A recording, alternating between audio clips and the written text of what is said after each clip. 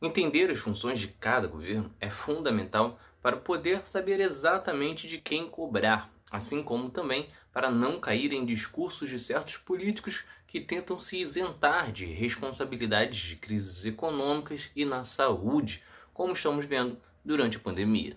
É Pilatos lá na Bíblia quem nos diz, e também faleceu por ter pescoço o infeliz autor da guilhotina de Paris. Cada governo, seja federal, estadual e municipal, tem uma responsabilidade em cada área e que são definidas pela Constituição, de acordo com a capacidade de gestão de cada uma e também do seu orçamento.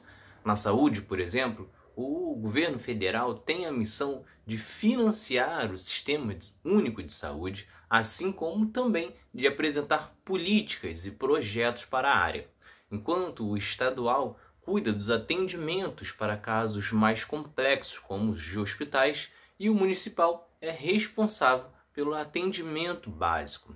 Na educação, o governo federal é responsável pela política nacional de educação, regula as instituições de ensino e cuida do ensino superior e técnico. Portanto, tem que cuidar de expandir as ofertas nestas áreas e também do acesso, como com um programa de financiamento. O Estado cuida da segunda parte do ensino fundamental e o ensino médio, embora alguns também ofereçam um ensino superior. Já o municipal tem como missão as creches, educação infantil e a primeira parte do ensino fundamental. Na parte da segurança, o governo federal tem sob a sua gestão as Forças Armadas e as polícias federais, enquanto o Estado tem a Polícia Militar, a Polícia Civil e o Corpo de Bombeiros. Neste sentido, o município é o que tem menor gerência, com apenas a Guarda Municipal. No setor de infraestrutura, o governo federal desenvolve grandes projetos como rodovias, ferrovias, aeroportos, geração e distribuição de energia. Já o estadual cuida apenas das rodovias estaduais e obras de abastecimento hídrico, e o municipal do saneamento básico, da iluminação pública, do asfalto, rodovias municipais, espaços públicos e mobilidade urbana.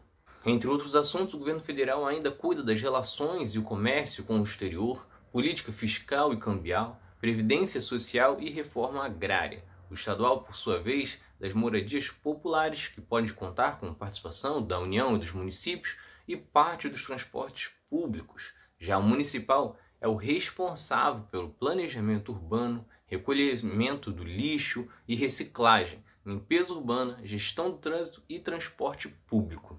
Para que tudo isso ocorra, o governo federal é responsável por fazer repasses aos estados e municípios, assim como também através de programas ele tem também que elaborar e implantar metas e estratégias a serem alcançadas em diversas áreas. Portanto, é preciso ter cuidado quando acreditar que um governo federal diz que não pôde fazer muita coisa. Nesta pandemia, por exemplo, o presidente Jair Bolsonaro por diversas vezes justificou sua inércia e negligência de que o STF proibiu o governo federal de atuar, decidindo que os governos estaduais e municipais tinham autonomia para tomar medidas, o que é uma grande mentira.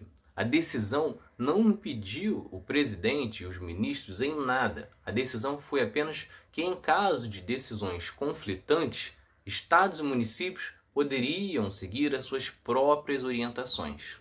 E isso ocorreu exatamente porque, ainda no começo da pandemia, quando diversas cidades começaram a fechar serviços e comércios para frear o número de casos, Bolsonaro estava liberando tudo, fazendo discursos para que a população seguisse a vida normalmente. Com isso, os governos estaduais e municipais entraram com um pedido para que eles também pudessem determinar suas próprias regras de isolamento. Porém, o governo federal poderia e deveria continuar trabalhando na busca por vacina, materiais hospitalares, auxiliando na logística e principalmente atuando para minimizar os efeitos da pandemia na vida das pessoas. O que não foi feito por opção da presidência e dos ineficientes ministros. Se vocês gostaram, curtam, se inscrevam para não perder nenhum episódio do outro lado da história. Acompanhe a gente também nas redes sociais, estamos no Instagram, no Twitter, no Facebook, além do nosso podcast que está espalhado por todas as plataformas de áudio. Ah, e todas as fontes utilizadas neste episódio estão no nosso site, outroladodahistoria.com.